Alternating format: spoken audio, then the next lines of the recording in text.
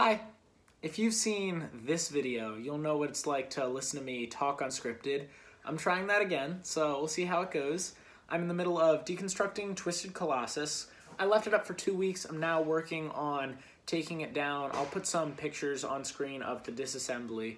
Um, my brother is helping me disassemble it, which shout out to my brother Drew. He has put up with me turning this room upside down for the past two years to build these roller coasters. I've moved around furniture, I've went into the hallway, I've had to, like, you have to step over stuff right now to get into this room. It's like, it's a mess. There's no way to get to the TV without finagling your way around K'NEX, But he's put up with it and it's great. So thank you to him for that.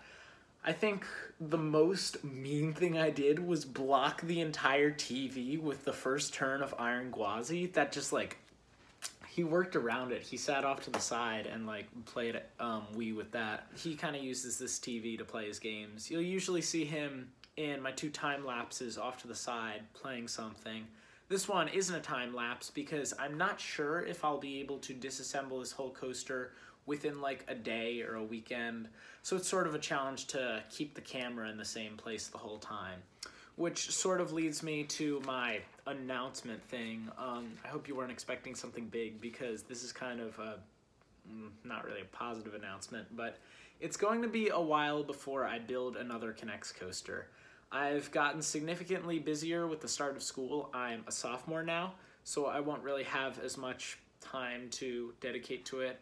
Marching band has been especially busy. I play the saxophone in that, and I love it. Um, I'm also taking some tough classes. I just, while I love doing this, I, I'm happy to move on for now.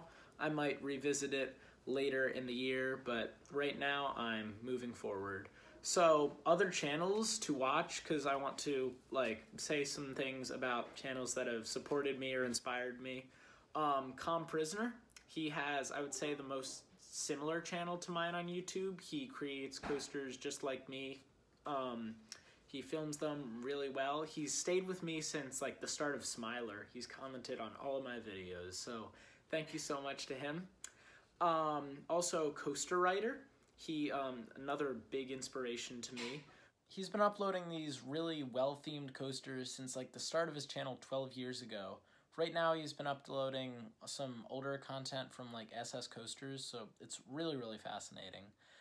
Also, Johnny from 3D Coaster, he built me the, um, well, he 3D printed a GoPro rig for, you know what, give me a sec, I'm gonna grab it. Here is Johnny's 3D printed GoPro rig car. It's how I was able to film the POV. It was very, very useful. So just check out his channel. He doesn't upload too often, and it's not really K'NEX stuff, but it's just very impressive model roller coaster stuff, 3D printing, very, very cool. Um, I also really like Roller Coaster Crafter. He builds with the micro track, but I just really love the personality of his channel. Simon, he's a really nice guy.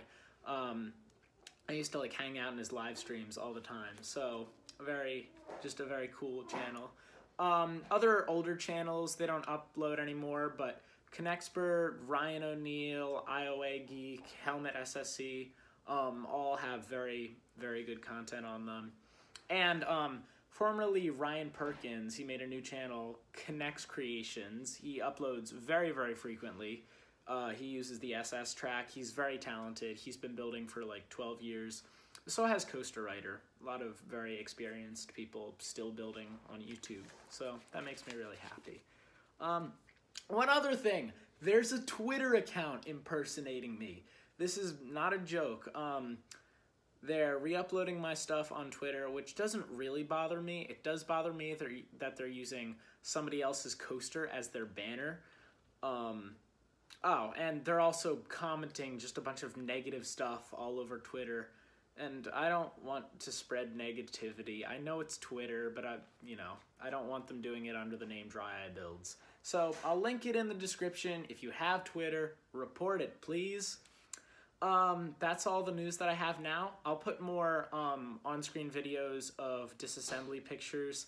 The coaster always looks kind of cursed without the track on it. It just looks really weird to have this like husk of a structure without the bright green and purple and I don't know. I don't want to make this video too long, so if I don't upload until 2022, thank you for making YouTube fun, commenting, watching, and just being along for the ride.